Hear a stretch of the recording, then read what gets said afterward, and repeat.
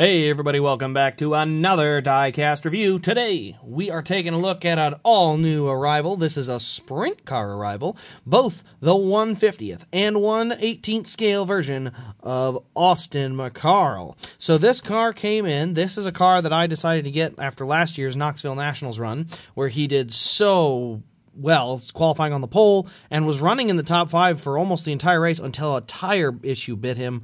But a great run he was having in the Nationals there. Really wish he could have been able to get the finish he deserved up there in the top five. Um, and I say last year, 2022. 2023, I didn't go because I was in Indy, but next year, I plan to be back. So, um, yeah, anyway. So, yeah, Austin McCarl getting to see this car, and also, it is a gorgeous car. So, let's get into it. We have that one and the 150th. So, slide them both off to the side. Let's go ahead and take a look at box and box art. So, here's the box art for the 150th scale. You can see we've got Austin McCarl. We've got uh, Country Builders and Construction uh, in Livermore, California, which is interesting because this is an Iowa-based team. Uh, we've got Tucker Trucking. Uh, what else we got in there? Do. Can't read that one. We got Walker's, Stealth Cam, uh, and then just Austin McCarl there. We got a bunch of sponsors. Pretty cool. Uh, it's, yeah, Country Custom Builders. sorry, Country Builders is, is it. I did not custom. Uh, maybe they do custom. I don't know. But yeah, overall, pretty cool artwork. Pretty basic, but, you know, um, it is cool to get. This is the first, um, as far as I know, the first uh, Austin McCarl car and it's the, at least the first one I have. So, um, yeah, so that's the uh, artwork for the 150th scale. Now we move on to the 118th scale, which is the big box, and uh, this one didn't come with a silver or a silver, a clear uh, sleeve on it, uh, which is all right because I'm keeping this one, so I'm not selling it anyway. This is so you know works out well, but um, yeah, for those of you who don't know, the sprint cars are probably going to be an eBay exclusive item. Uh, the website just hasn't gotten the traffic recently. I got to do some research and find out if I got an issue on my site um, that might be causing some traffic issues. Um, so yeah, they're all, the sprint cars are still on there. They are on the website. Uh, all the new arrivals are, but I got to figure out something might be going on because I have had almost no traffic and I'm not sure why. So I think there might be an issue going on. But anyway, yeah, very cool art uh, on this box. And the good news is, even though it didn't come with the clear or the plastic uh, covering, it's uh, the one that I'm keeping anyway, so it doesn't make a difference. So let's go ahead and start with our large car here because that one I don't have to move this off the tripod for. And then we'll go to the smaller one after that. Oh, we got a sticker over there. I'm not sure what that's for. Okay, so here we go. You can see our number 88. It's got this metallic red paint all over it. You can see it right there. It looks like a candy apple red. It looks very sharp. Looks very good in person, by the way, too. Really looks good.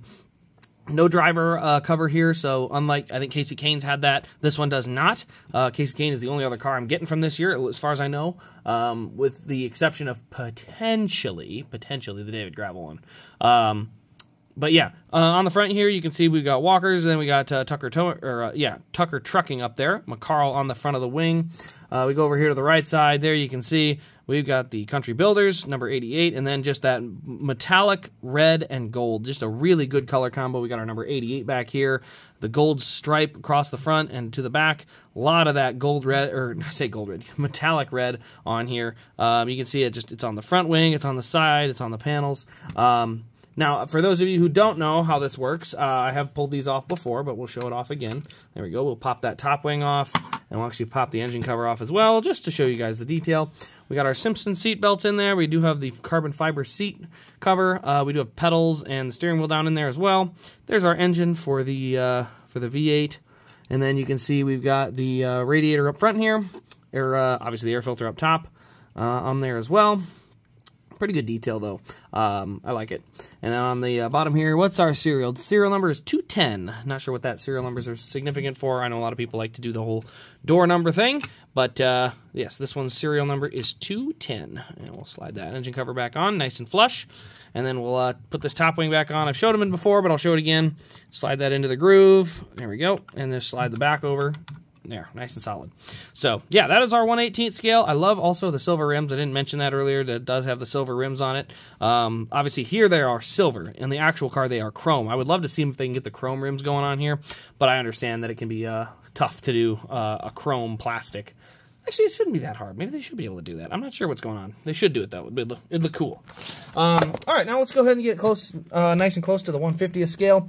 Uh, same thing. They do come in the three parts. This one also has that metallic red uh, color-ish. I say ish. The top wing, you can see it's like a solid red. You don't really see any graining in there. But you do somewhat see it in the engine cover section and then not the wing. So it's weird because the body of the car, eh, no, it's just a it's just a straight red. I think just the engine cover here looks like it's got it, but the rest of it looks pretty good. The red is obviously looks very sharp. Uh, you can see we also have our number 88 back there. Uh, I don't really see anything different from the uh, from the 118 scale, which is pretty cool because it's very difficult for them to be able to do things like silver Nerf bars, black headers, uh, black chassis, silver bumper bar, like to have all of those things matching. Um, that's pretty cool because that's not an easy thing to get all of that stuff to match. That can be kind of a pain in the butt. So, um, yeah, the 150th scale. Honestly, the 150th scale is a great deal for anybody who hasn't picked one of these up yet. Um, I can tell you right now, they are a fantastic deal. Uh, they're the same amount as the 118 or the 164s were last year, and honestly, the they're bigger. The detail is a little bit better, and frankly, I just I think they look better too because they're a little bit bigger. I think the size really works out, but um, by no means am I saying either of them are bad. I just think it's one of those things that uh, the cars in general really do look nice. I think they, they got a real good look to them. So, um, but yeah, you can find the 150th scales online. I don't think the 118s are going to be there because, like I said, this is the only one I got in, and it's sticking with me. So, uh, other than that, though, guys, that'll pretty much wrap up this review. Let me know your thoughts in the comments below. Also, turn on the bell and subscribe for more diecast content. We'll see you in the next one.